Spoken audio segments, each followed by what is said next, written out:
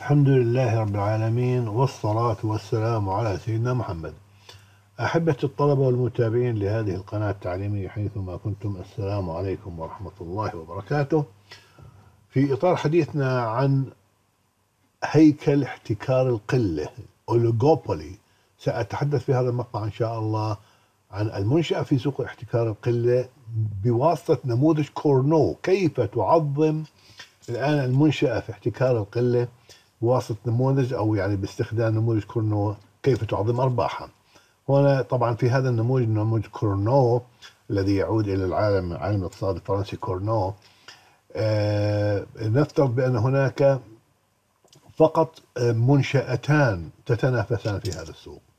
فدعني الآن أبين بعض الأشياء. هنا عرفنا هيكل احتكار أوليغوبولي بأنه مجموعة قليلة من المنشآت التي تنتج سلعا أو سلعا متشابهة في الوظيفة. شو المقصود متشابه الوظيفة؟ أنا مثلا على سبيل المثال سيارات حواسيب طائرات وما شابه. كأن نقول مثلا الشركات الصناعية التي تنتج السيارات في دولة صناعية ما. وعلى سبيل المثال في الولايات المتحدة هناك عدد قليل من شركات صناعة السيارات. فورد American Motors كرايسلر وما شابه. هي قليلة العدد لا تتجاوز سبعة أو ثمان شركات الله أعلم.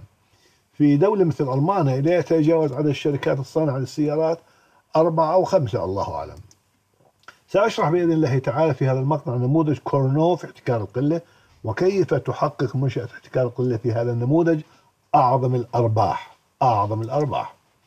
ينبني نموذج كورنو على وجود منشأتين منشأتين هنا. أرجو أن لا أكون قد أخطأت هنا بالإملاء على كرسي أم على ألف. فهناك فقط منشأتين.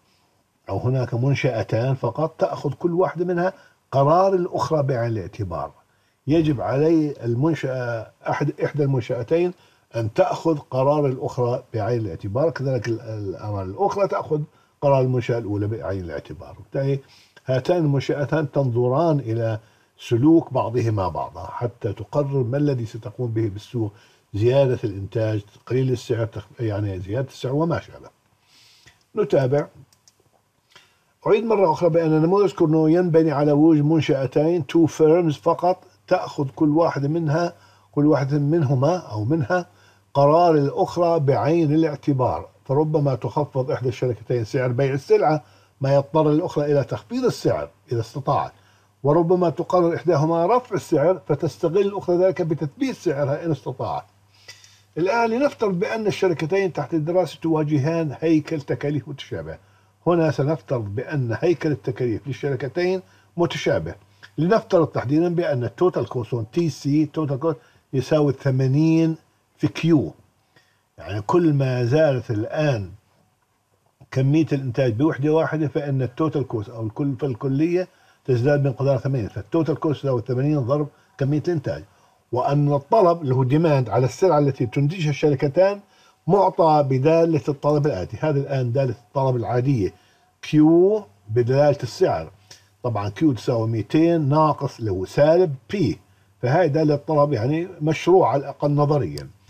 هلا سنحول هذه دالة الطلب العادية إلى دالة طلب عكسية ما يسمى inverse demand function وهي تحديد السعر بدلالة الكمية. كما يلي. إذا نقلنا الآن بي إلى الطرف الأيمن. وكيو إلى الطرف الأيسر الإشارة تتغير هنا والإشارة تتغير هنا. تصبح الآن هنا سالبة وهنا موجبة. فالآن دالة الطلب العكسية تصبح بي تساوي 200 ناقص Q هذه مهمة جدا حتى نستطيع آه، الحصول على ما يسمى بالإيرادات الكلية ثم الإيرادات الحدية. إذا الآن دالة الطلب العكسية تساوي اللي هي P تساوي 200 ناقص Q الآن حيث الآن هاي ال total cost هنا ال marginal cost منها تساوي المشتقة مشتقة التكاليف الكلية بالنسبة للكمية وتساوي 80 لاحظوا d CT d TC d Q تساوي 80 اللي هو ال marginal cost تساوي 80 هنا. وأن الآن Q هذه لأن هناك شركتين تنتجان فإن Q هي حاصل إنتاج الشركتين. Q تساوي إنتاج الشركة الأولى Q 1 زائد إنتاج الشركة الثانية Q sub 2 هنا Q sub 1 إنتاج الشركة الأولى وهنا Q sub 2 اللي هي شركة إنتاج الشركة الثانية. نتابع على بركة الله. نعيد كتابة دالة الطلب العكسية كما يلي هذه P تساوي 200 سالب Q.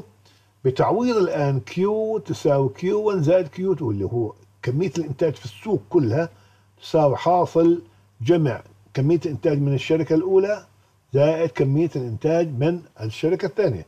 نعوضها في دالة الطلب. فتصبح الآن P ناقص 200 بدل Q. هذه نضع هذه. يصبح شكل الدالة الآن P تساوي 200 ناقص Q اللي هي تساوي 200 سالب. داخل قوس Q1 زائد Q2 وتساوي الآن 200 سالب Q1 سالب Q2 هذه مهمة جدا حتى نستطيع أن نتعرف على سلوك كل منشأة. الآن حيث طبعا أذكر دائما هنا ال marginal cost يساوي المشتقة الأولى للتكاليف بالنسبة للكمية يساوي 80 وأن Q تساوي Q 1 زائد Q 2 هنا هنا عرض السوق كلياته يساوي ما تعرض المنشأة الأولى زائد ما تعرض المنشأة الثانية. هاي الآن طبعا Q مهم جدا تتذكروها. بالنسبة للمنشأة الأولى المنشأة الأولى ال total revenue الإيراد الكلي الآن هذا الإيراد الكلي يساوي حاصل ضرب السعر في كمية إنتاج للشركة الأولى المنشأة الأولى.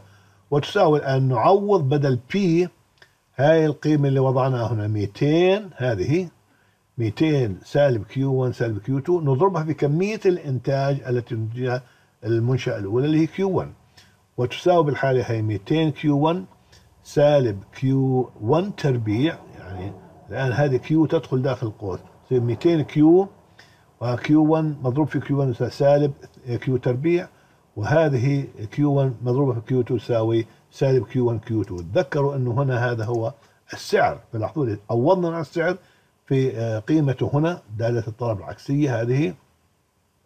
بعد ما عوضنا فتصبح 200 سالب Q 1 Q 2 نعوضها هنا فتصبح الآن آه الإيرادات الكلية للمنشأة تساوي 200 Q 1 ناقص.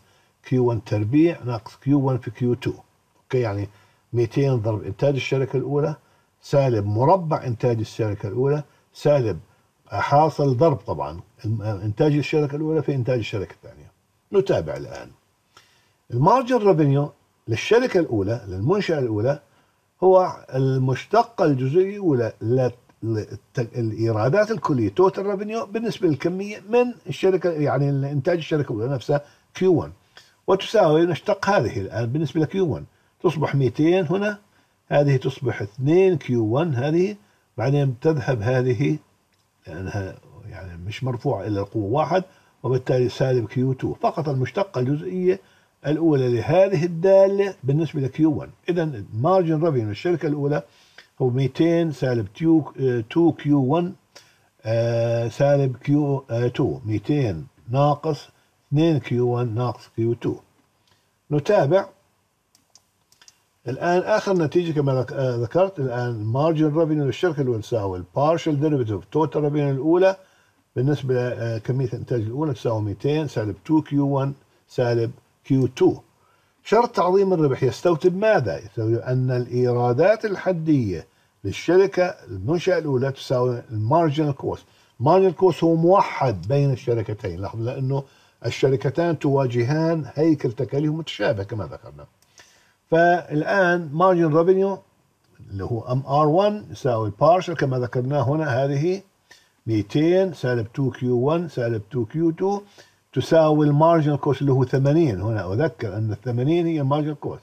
هذا يعني إذا لخصت يعني آه قمنا بعملية الحساب معناته 200 سالب آه 80 لاحظوا لماذا 80 الآن؟ نقلناها للطرف الأيسر ونقلنا هذه للطرف الأيمن وأبقينا على Q2 وبالتالي Q2 طبعا 200 سالب 80 سالب Q2 تساوي 2 Q1 هذا يعني بأن 2 Q1 تساوي 120 لما نقصنا هنا 200 آه، سالب 80 تساوي 120 بقيت هذه هنا آه وبالتالي الآن 2 Q2 تساوي 120 سالب Q2 إذا Q1 لحالها تساوي 120 تقسيم 2 سالب نصف Q 2 هذا يعني بأن Q 2 Q 1 عفوا هنا Q 1 تساوي 60 سالب نصف Q 2 مهم جدا تتذكروا أحبة الطلبة الآن بأن هذه Q 1 تساوي 60 ناقص نصف Q 2 يعني إنتاج الشركة الأولى أو المنشأة الأولى يساوي 60 ناقص نصف ما تنتجه الشركة الثانية.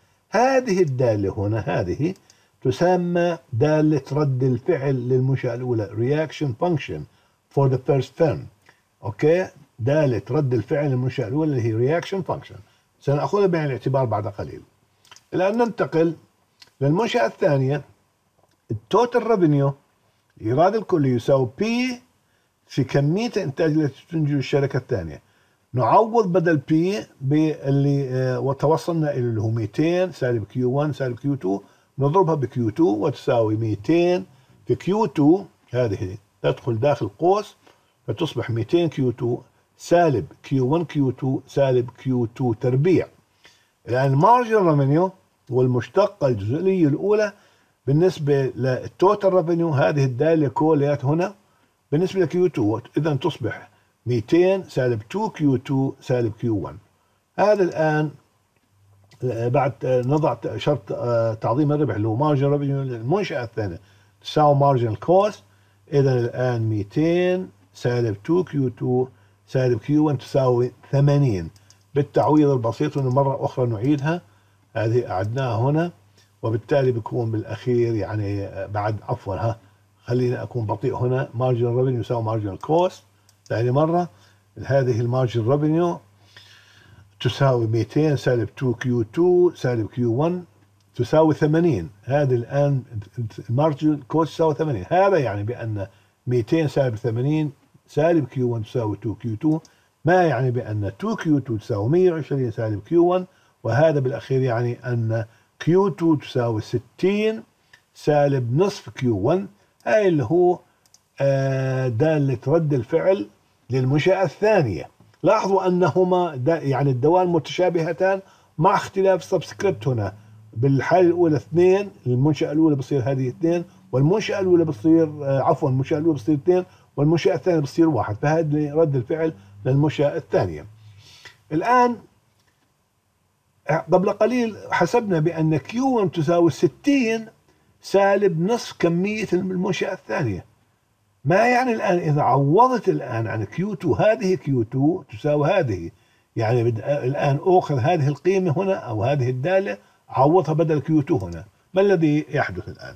من Q1 تساوي 60 سالب نصف بدل Q1 حطينا Q كل هذه Q2 هذه Q2 عوضناها 60 سالب نصف Q1 وبتساوي 60 ناقص 30 زائد ربع Q1 ما يعني بأن ثلاثة أرباع إذا نقلنا هذه الربع آه، في الطرف الأيسر تصبح الآن ثلاثة أرباع لأنها موجبة تصبح سالبة.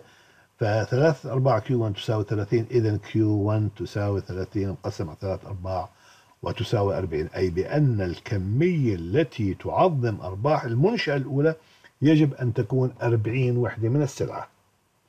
okay؟ الآن ننتقل إلى المنشأة الثانية. هي آخر آه، نتيجة حصلنا عليها.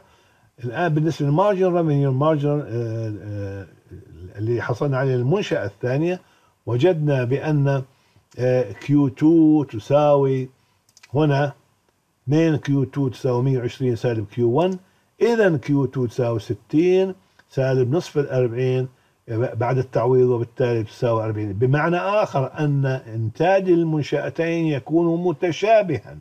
لأن كل واحد منها تريد أن تعظم أرباحها. فإذا قامت إحدى الشركتين أو المنشأتين برفع السعر آه، الأولى أو الأخرى لن تزيد. إذا قامت إحداهما لنفترض الأولى بتخفيض السعر الثانية تتبعها. هنا بصير نوع من الاتفاق الضمني بينهما فأنتجا 40 40 أوكي؟ بيكون متشابه.